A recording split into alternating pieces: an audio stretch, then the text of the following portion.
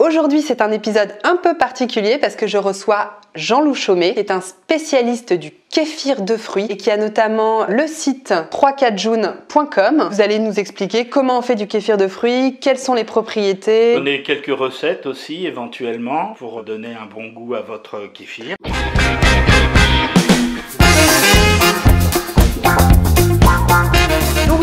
C'est du kéfir de fruits. Voilà, tout à fait. C'est le produit final. Euh, une boisson un peu jaune et vous le verrez après euh, pétillante. D'accord. Naturellement pétillante.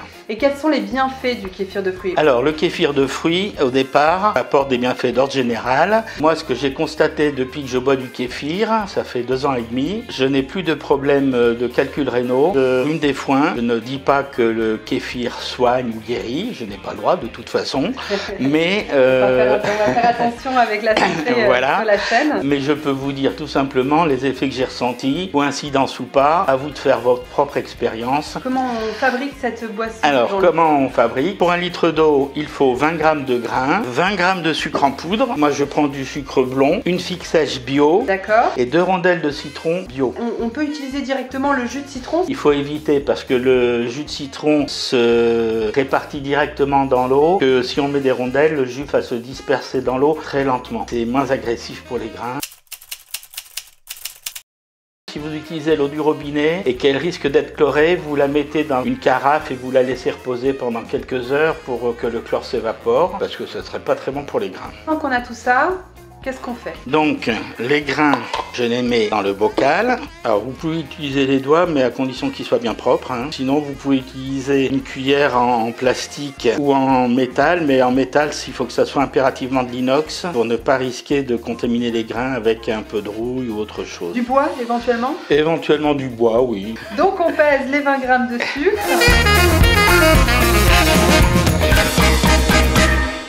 Bon, excusez-moi, c'était un peu long. Je ne sais pas me servir de cette balance, c'est la première fois que j'utilise. Voilà. Hop, on les met dans le bocal avec les grains de kéfir. Je rajoute la figue. Ok. Les deux rondelles de citron. Il ne reste plus qu'à remplir le pot. C'est tout? Ben voilà. On referme, on attend donc 24 à 48 heures. Et ensuite, euh, comme on va le voir tout à l'heure, on filtre. Donc c'est tout simple mais tout à fait. Et là, on voit que la figue est en bas. La figue est en bas et au bout de 24 heures, un peu plus, un peu moins, elle va remonter. D'accord, donc là on attend 24 ou 48 heures. À température ambiante. Et ensuite, la deuxième étape La deuxième étape qui est donc de filtrer et de mettre en bouteille la boisson. Vous, Jean-Loup, vous utilisez un pot fermé. J'ai vu aussi d'autres recettes qui suggèrent juste de mettre un tissu entouré d'un élastique pour fermer la boisson. Les deux sont possibles. Le tissu, c'est pour empêcher les mouches de rentrer, mais personnellement, je préfère qu'il soit fermé hermétiquement afin d'éviter que n'importe quelle levure ou bactérie ne puisse rentrer et polluer la boisson que je suis en train de préparer. Vous le filtrez, vous le mettez en bouteille. On va voir comment, mais avant, je voulais euh, vous montrer que la figue est remontée. La figue était en bas et en général, au bout de 24 heures, elle remonte. Contrairement à ce que certaines personnes pensent, ça ne veut pas dire que le kéfir est prêt. Le kéfir est prêt quand vous, vous décidez qu'il est prêt, mais c'est pas parce que la figue est remontée qu'il est terminé. Il faut rappeler quand même que c'est une boisson, comme c'est fermenté, c'est une boisson un petit peu alcoolisée. Alors, la boisson est effectivement très légèrement alcoolisée. Elle fait entre 0,5 et 1 degré. Donc c'est pas forcément recommandé Donc, pour les femmes enceintes. Pour les femmes enceintes, sans doute pas. Pour les bébés en bas âge, non plus. On considère qu'à partir de 2 ans, on peut en donner aux enfants. Mais commencez par des petites quantités. Un demi-verre, un verre, même vous-même adulte, commencez petit à petit par un demi-verre. Et si ça passe, vous en prenez un peu plus. Moi, j'en bois un demi-litre par jour. À une époque, j'en buvais un litre par jour. Donc là, là vous dites un demi-verre, mais par jour. Hein. C'est ça? On Euh, commence voilà, par voilà, un demi-verre voilà, par jour et on voit ce que ça donne. Voilà. Je vais le mettre en bouteille.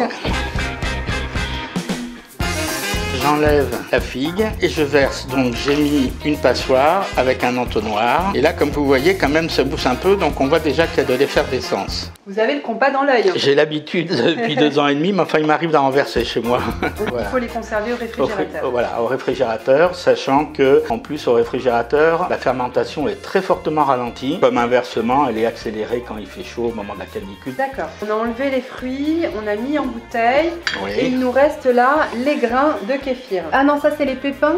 Alors il y a des pépins de figues parce que souvent elles se déchirent. Pour euh, enlever les pépins des figues, prenez un grand récipient que vous allez remplir d'eau et une passoire. La passoire euh, comme celle-ci va retenir les grains. Par contre les pépins de figues bah, vont tomber au fond du récipient. Il faut savoir que là ça va beaucoup plus pétiller après la F2 qu'après la F1 et c'est aussi l'occasion d'aromatiser votre boisson. Et là vous pouvez faire ce que vous voulez comme il n'y a plus les grains dedans, vous risquez pas de les abîmer et donc vous laissez libre cours à votre Vous pouvez mettre des feuilles de menthe, des fraises, des framboises, du basilic, de la cardamome, de la cannelle. Ça c'est donc euh, la deuxième fermentation. Vous pouvez boire tout de suite si vous êtes pressé. Vous pouvez attendre encore euh, un jour ou deux. Le temps de fermentation de F1, première fermentation, et F2, donc le temps cumulé des deux fermentations, a un effet laxatif si la durée est de 24 heures, a un effet neutre si le temps de fermentation cumulé est de 48 heures et un effet constipant euh, à partir de 72 heures et plus. Plus on attend,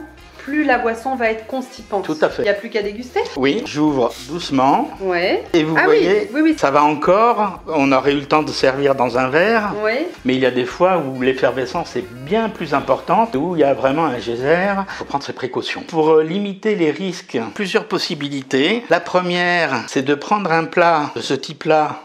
Vous mettez la bouteille là et un sac en plastique au-dessus. Le sac en plastique a empêché le kéfir d'aller trop loin. Pas très pratique, mais c'est faisable. La deuxième solution, c'est de l'ouvrir comme je l'ai fait et de la refermer tout de suite. Et vous faites ça plusieurs fois. La troisième solution, c'est celle que j'adopte, c'est que je prévois un peu à l'avance que je vais boire mon kéfir et je le mets euh, au frigo pendant quelques heures. C'est comme le champagne. Si on le laisse au frigo, Ouais. on risque pas de se retrouver avec une explosion dans le frigo. Non. D'accord. Et si on laisse à température ambiante? Vous avez vu ici, j'utilise une bouteille de limonade. Oui. Ici, c'est une bouteille de bière. Et ici, c'est une bouteille de champagne sur laquelle j'ai mis un bouchon que l'on met sur les bouteilles de champagne qui ne sont pas terminées pour empêcher le gaz de sortir. Ce sont des bouteilles qui sont très résistantes à la pression. Ça pourrait être aussi une bouteille de cidre. Si vous prenez des bouteilles qui ne sont pas à fermeture mécanique, euh, le bouchon va sauter. Et À couvercle, euh, couvercle j'ai jamais essayé. euh, c'est peut-être risqué. Il y a aussi les bouteilles, même à fermeture mécanique, que l'on trouve dans des magasins d'ameublement suédois notamment, ou dans des magasins de déco. Vous avez des bouteilles comme ça. Le verre n'est pas du tout adapté pour Ah. supporter des grosses pressions. Et il est arrivé que des gens se retrouvent avec une bouteille qui a explosé. Alors, on privilégie les bouteilles de champagne avec un bouchon adapté ou les bouteilles de limonade qu'on récupère Voilà. ou de bière. Qu'est-ce que vous faites d'ailleurs des fruits Rondelles de citron, je les réutilise 3-4 fois pour euh, mes premières fermentations. Vous Les les figues, euh, pas pour le kéfir, non, elles n'ont plus, euh, elles ont perdu toute leur euh, levure, etc. Donc elles n'ont plus aucun intérêt. Je les mets au congélateur et quand j'en ai suffisamment, je décongèle, je mixe. Pour 100 grammes de fruits, je rajoute 60 grammes de sucre et je fais cuire pendant à peu près une demi-heure et ça fait un genre de compote, confiture, voilà, qui, Mm. qui est très sympa.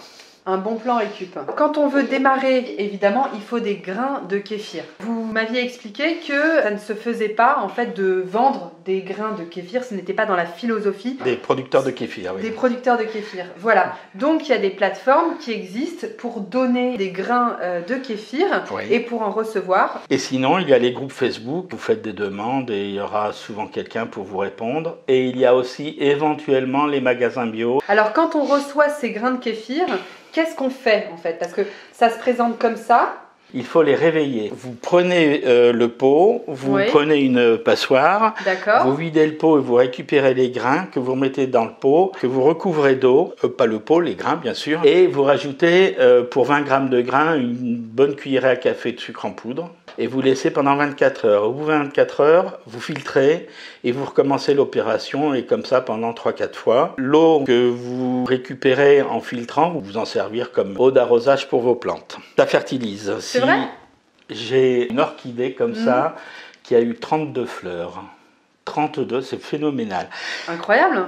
J'étais vraiment, euh, j'étais premier surpris, j'avais essayé, puis voilà. Bon, bah maintenant qu'on a fini notre euh, kéfir, on va pouvoir le déguster, n'est-ce pas Je Jean-Luc crois que ça serait une bonne idée, oui. Allez, c'est parti. Alors, moi j'ai jamais goûté le, Eh ben, c'est le l'occasion. kéfir de fruits. C'est l'occasion. Ça pétille plus. Ça pétille va. encore un peu, mais Encore moins. un peu. Ouais, ça, ça a oui. l'odeur du champagne un peu. Non? Un peu, oui. Je vous en mets pas beaucoup ouais. parce que si vous n'aimez pas, euh, c'est pas la peine vous en de. Vous en avez déjà mis pas mal. Ah bon, bah voilà. Bon, moi j'aime bien. je suis sûre que c'est très bon. Vous l'avez bien vendu en tout cas. Bon, bah, chin. hein. Ah, ce kéfir. Ah, c'est bon. Ah, je m'attendais à ce que ce soit moins goûtu. En fait, Ah non, c'est on bon. a vraiment l'impression de boire de la limonade. Oui, tout à fait. Bah, c'est le Ah, citron bon. qui doit donner ce goût-là. Moi j'aime beaucoup. Mmh. J'aime encore plus quand il est bien frais. Mm. Je trouve que c'est génial.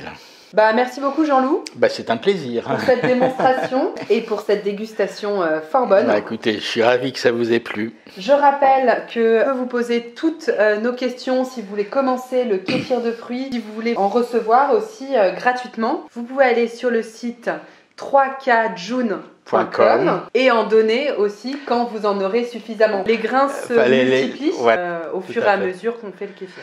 N'attendez pas d'avoir un kilo de grains pour en donner. Dès que vous commencez à en avoir euh, pas mal, même 100 grammes, vous pouvez commencer à en donner petit à petit, tranquillement. Bon bah merci beaucoup, merci de nous avoir suivis et n'oubliez pas que ce sont les petits gestes qui font les grandes révolutions. Salut Au revoir.